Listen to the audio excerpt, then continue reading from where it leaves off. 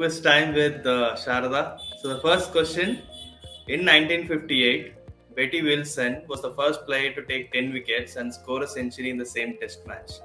In that same match, she also became the first woman to achieve something. What is that feat? Options. Options uh, but I'll give you a clue. A clue sure. is related to a bowling achievement which usually is a very rare thing to achieve for a bowler. First woman to take a hat trick? Absolutely, right answer. So, second question year 2000, which nation became the only other team to win a World Cup apart from England and Australia? New Zealand. Okay, next question coming up. Which player holds the fastest uh, 50 record in IPL? KL Rahul.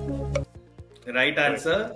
So the next question, you got three out of three. Which Indian players holds the record for the fastest hundred in IPL? Uh, any option? Uh, this team has won one IPL trophy.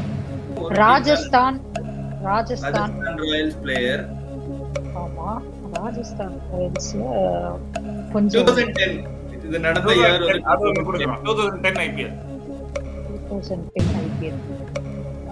Yusuf Pathan yes right answer in 100 league 100 women's league who score the highest individual score சற்று முன் வந்த யோசனையில கேட்ட question